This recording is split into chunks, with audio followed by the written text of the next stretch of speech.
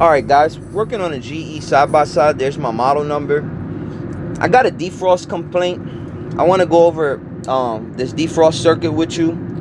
So I traced it out for you, L1 in neutral. But basically, coming off the board at the J2 uh, connector, the blue wire, uh, I represented it in red. But as you see, it comes off the board, and the first stop is um, the defrost heater.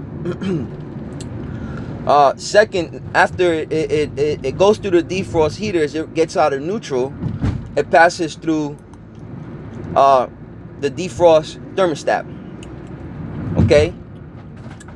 After it gets out of the defrost, after, you know, it, it, it drops all of the voltage at the defrost thermostat and it returns to neutral with zero volts, I know that I can check that from the board and I'm going to show you guys how to do that. I'm also going to do a little bypass and show you that too. So here's the unit.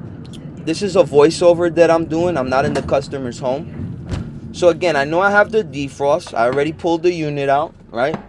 Got my steamer all prepared. I want to show you guys how I came to that conclusion. As you see here in the back, let me turn on my light. You see there in the back, you see all that snow and that rime ice. Yep, that's my problem. So I'm going to show you guys from the board how to do a little bypass and use line one and go right to your defrost circuit. So at the back of the board here, the J2 connector, I'm going to show you guys. I basically jumped the brown and the blue uh, wire and what that's going to do is right from line, it's going to shoot 120 volts to that circuit, whether the board is in defrost or not. Again, do not attempt this repair if you're not, you know, confident and you're not working on this exact model number. This is just a little training guide for this particular unit, okay? So now that now that we did all of that, I'm going to show you guys. Go to the rear. Uh, no, yeah, tape your door and make sure you turn off the, the lights in the customer's home so you can see the defrost heater turn orange.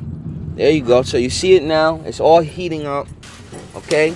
Again, let's just verify the circuit. We're going to go on ohms.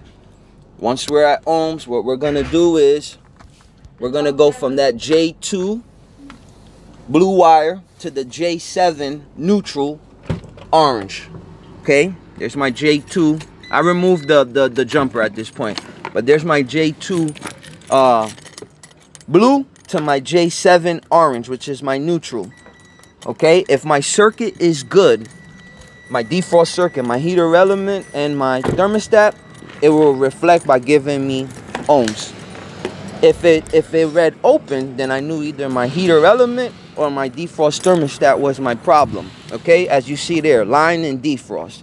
I basically just did a shunt from line to defrost, okay?